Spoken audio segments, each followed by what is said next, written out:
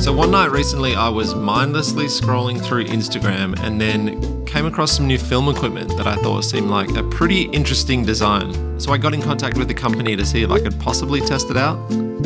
A week or so went by doing the usual things, and then I got a text.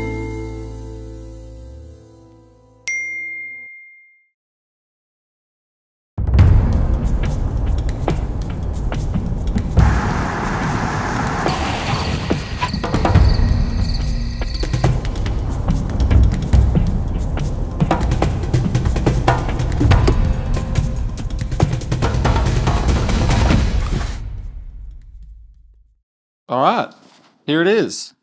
I mean, to be honest, it's a piece of fabric, really, but it's a pretty interesting design that they've made. So it's this company called Bluff Bounce, started by Nicholas Bluff. They make these bounce fabrics for frames. So usually you would just have like a white ultra bounce that you'd bounce the light in, or you would have a black fabric to take the light away. And what they've done is sort of taken it a step further by adding these natural colors of the environment around into the fabric. So you can see they have these fabrics that match, you know, the sky and the beach, or this like cityscape one with this gray, the grass and the sky, or if you're out in the jungle somewhere. So, you know, it's pretty cool. So this one I've got is a blue sky and a beige, which is like, you know, sand or bricks or something like that. And then this is the sky. All right, so what I'm gonna do is put in a frame outside, bounce some lights into it, bounce the sun into it, maybe even shine a light through it, see what that looks like and then see what it looks like compared to other materials as well and see what the effect is giving us. Okay, so let's do it. Do one of those cut transitions.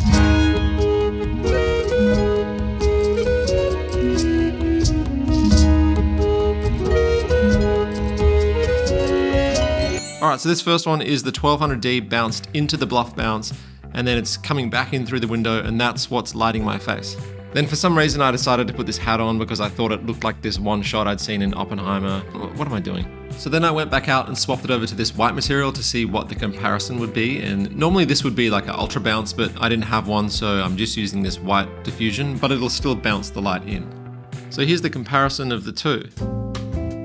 And after this, I thought maybe I'll try on another side of the house where the sun is, and I'll just try bounce the sun into the room and see what that looks like.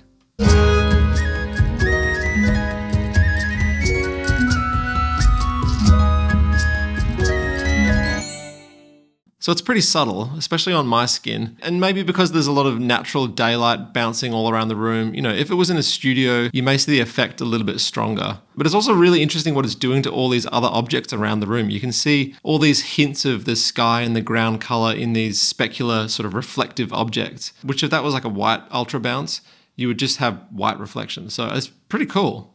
It is very subtle, you know. I'm sure there are people who couldn't tell one shot for another. But it, I think for me, I like the the details of things. You know, like I was sitting one day and then just like looking at my hands, like how can I make this light that comes in from the window? I have these next to our apartment. There are like some big white beige buildings. Um, and I just thought like this light is not white. It's all has some sort of color. You know, it's bouncing off a building that has a color. There's the sky. This gives like this blue feel, and also the, for the reflection and then I just started experimenting with different fabrics. Um, and then after I made one, I started posting some pictures, and people were like, "Ah, oh, this is cool. Where can I, where can I get this? What is this?" It works really great behind kitchen windows that I have some sort of diffusion or bathroom windows, um, and I think that's that's a cool way of using them too.